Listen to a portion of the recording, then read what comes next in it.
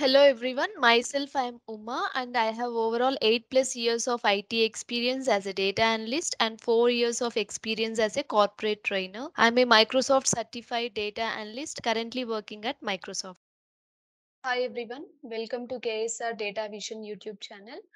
In today's session, we will see about one DAX function which is called rankx function. So the use case is pretty simple. So here in a table, I have taken the customers. Okay. So the data set here is we do have different orders placed by the customers and we do also have the sales made by each customer. Okay. All the customers across different dates, what all the products they have purchased and how much sales they have made, that information we have. So based on the sales made by the customer, I want to give ranking for all the customers who are available in my data set. Okay. So the rank should be like the customer who is making the highest sales. He should be ranked as first rank.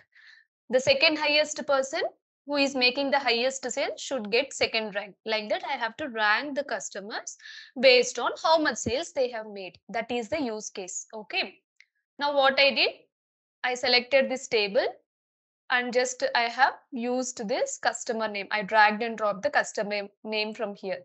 Okay. Now I, I also want to show the total sales and I also want to show the ranks to those customers.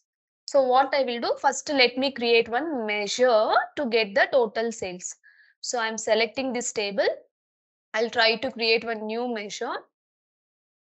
The measure is total sales. So how to get the total sales? We have to use sum function. In this sum function, I already have a sales column. So I'm just using that column and I'll close this. So this will create one measure called total sales. Now let me also drag and drop this total sales. Okay, now every customer based on his alphabetical order, if you see starting with A, all the customers and how much sales they are making, everything we are seeing. Now I will sort this based on the sales. I will just click on this. If you see here, the first customer is Sean Miller, who is making the highest sales. And then we can see some customers, the second, third, different customers who are making the highest sales. Okay. Now for Sean Miller, I have to give number one. Next, for the next customer, I have to give the rank number two.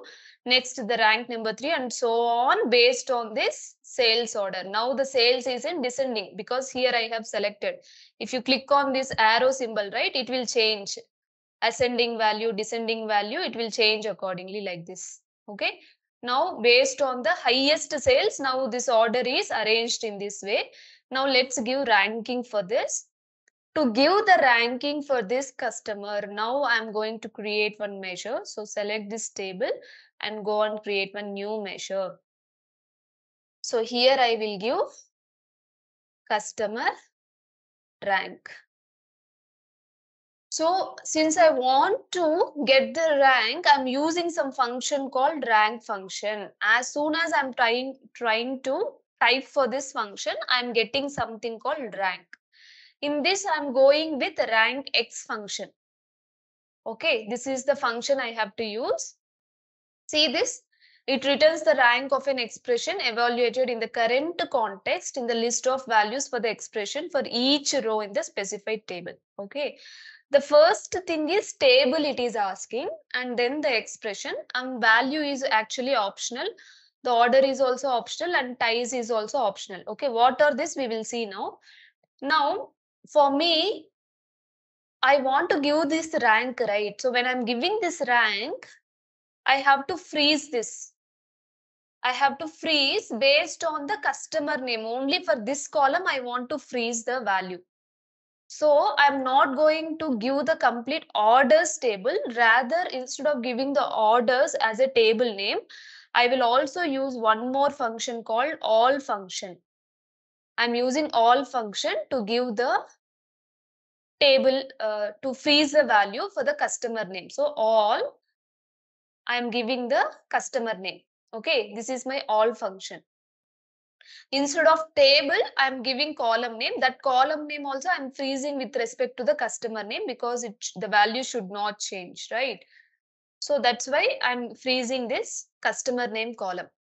Now, all what will do, all function, all will ignore any filters applied. It will just freeze the value and it will ignore any filters applied. That is about the all filter. Now I will give the expression. So the expression is nothing but based on total sales only, I want to give rank to the customers. So I'm just using this total sales as my expression. Now value is optional. So I don't have any specific values here because already I have given the total sales in the expression. I'm just uh, skipping this. Okay. And next it is asking for the order. Should we give ascending or descending? Obviously descending, right?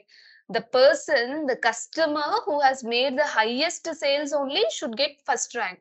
So you, you should choose descending. Descending means top value to the low value, highest value to the lowest value. We should also give highest sale made customer as rank one. So you have to go and use this descending order.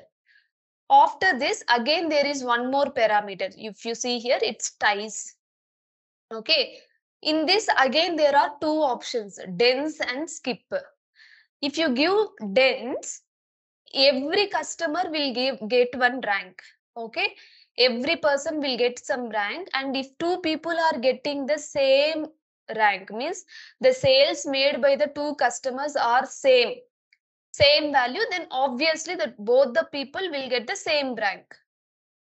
Okay let's take um, the customer the customer with the third one right or let's take this one. Sanjit let's take sanjit. Sanjit has uh, his sales is 12209 right? 12209 now he is first second third fourth fifth sixth. Sanjit Engle is the sixth one. Sixth one. Let's take christopher also made the same kind of sales. Then both should get sixth rank and the next person should get the seventh rank isn't it so if you use dense, you will get in that order. You will get in that, that order if the sales are same. But here the sales are different. But I'm telling you an example that if both the sales are same, both will get the same rank and the next person will get the next consecutive rank means seventh rank they will get but instead of using dense if you use that skip right if two people are getting um, six here and six here. Both are getting sixth rank. The next rank will be eighth rank because it will skip the seventh rank. Okay, that it will do. Skip will do will behave in this way it will skip the next rank it will not give the consecutive rank if both the customers are getting the same rank that's why what i am doing instead of skip we will go with the dense because every person should get one rank, right? Based on the sales he has made. So I'll just close this. I'm just using rank x function. In the rank x function, I'm passing all the parameters, table name, expression. These values I left it blank. Order I have given descending. And here in the ties, I have given dense. Okay. And now here I have given the customer name because it has to freeze the value and it has to ignore any filters applied. Now what I will do, this is my rank function.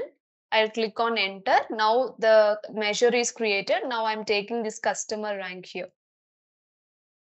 If you see here, each customer has got the rank based on how they have made the sales, they are getting this rank. Okay, this is about your rank function, rank x function, where based on the context, you can give rank to the specified columns. Okay. So thank you for watching this and uh, please do like, share and subscribe to KSR Datavizon YouTube channel. And uh, if you need any other DAX function, please comment in the comment box. Thank you.